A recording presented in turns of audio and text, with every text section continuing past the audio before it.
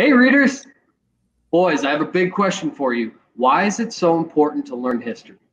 Well, Max, I think that's a great question. History is important on a personal level because it helps us understand where we came from and why we are the way we are.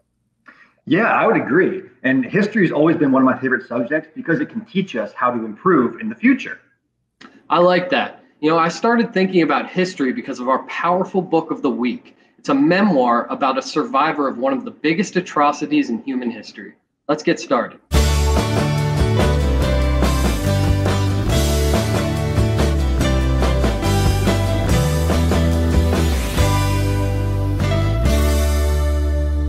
Wow, that was powerful.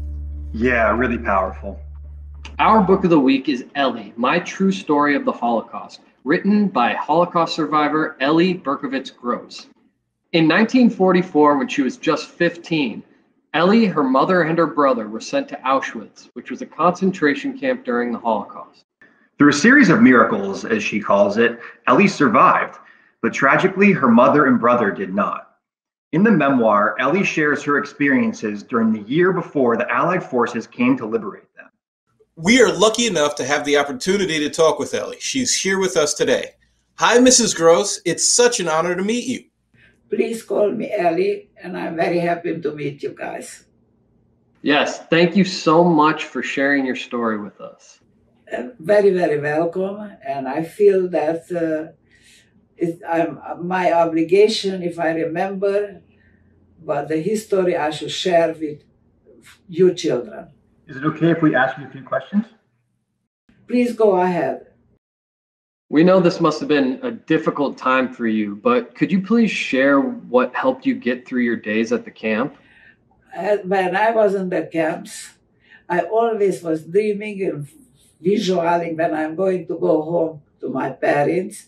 I couldn't believe it, what's going on. I was thinking that's just a bad dream, and I will wake up at home and go back to school if I would know exactly that happening, everything, I don't think I would have survived. I always thought that just a bad dream. That must have been extremely difficult.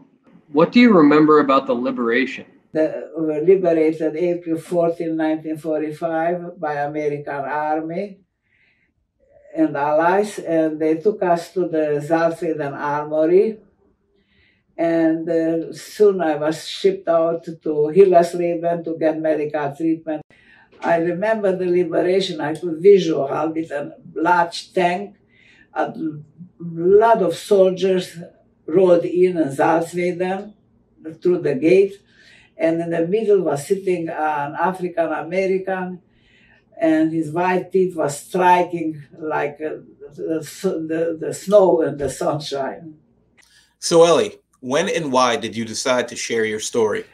As soon as I learned English, I felt obligation that I should try to write and share my stories. Eventually, in the beginning, I was talking in schools about 30 years, and uh, I thought that if I share my story with the children, maybe they be better students or better child at home. They learn that not everything but they wish they could have it. And they learn that sometimes in life tragedy occurs. Yes, that's a very good point. Thank you for sharing that. Uh, what would you say is the most important lesson that you'd like readers to take away from this book? Hatred, prejudice create destruction. At the end, there are no winners. That's the most important part in their life. Yeah, that's absolutely right, Elly. You're absolutely right. Uh, thank you so much. That's the most important. That is true.